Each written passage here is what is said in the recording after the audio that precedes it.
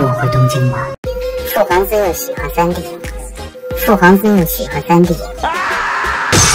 Hello，我是江明哥。今天聊一部中老年古偶玛丽苏宫斗历史正剧《大宋宫词》。我知道有部剧叫《大明宫词》，因为故事背景在唐朝大明宫。那请问大宋宫是什么鬼啊？你们不会以为《大明宫词》讲的是明朝的故事吧？那万一这部剧火了，将来拍明朝的续集，按照这个起名的逻辑，剧名不又得叫《大明宫词》吗？北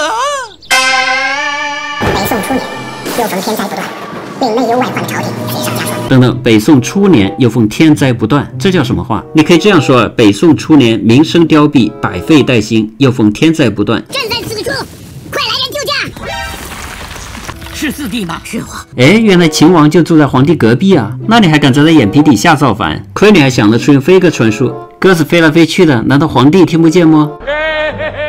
麻生自觉才疏学浅，德行不足，况且尚有二位兄长，袁侃怎敢见远？我信你个鬼啊！不到半集就打脸了。若非此次带兵出征，即便立为太子，将来在朝堂之上也难以服众。不仅是个心机 boy，这部剧的男一号还是个不折不扣的极品渣男。老婆在地震的生死关头生下一皇子，祝他稳稳地登上太子之位，他竟然连看都不看一眼。直到这小孩死在出生礼上，他都没有抱过自己的亲儿子。俗话说，红花还要绿叶配，渣男还得绿茶配。跟我回东京吧。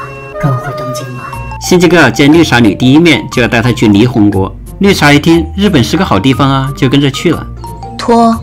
绿茶所到之处，那叫一个片瓦无存。他走到哪里，灾难就跟到哪里。他向老太太招一招手，转眼之间，老太太就被辽军杀死。他抱一抱小王子，小王子就被刺客拿刀捅死了。再算上他自己流产而死的孩子，第一集他就带走了三条人命。第三集更厉害，把秦王整个家族一锅端。你可能百思不得其解，这么典型的专业害人精，不管在情场还是职场，竟然都能左右逢源，连皇帝御赐鸩酒都毒不死他。女主为何能横行无忌，大杀四方？看看对手的智商，你就懂了，那真叫全员智障啊！皇孙阵阵哭成这样，莫非有什么不祥之兆啊？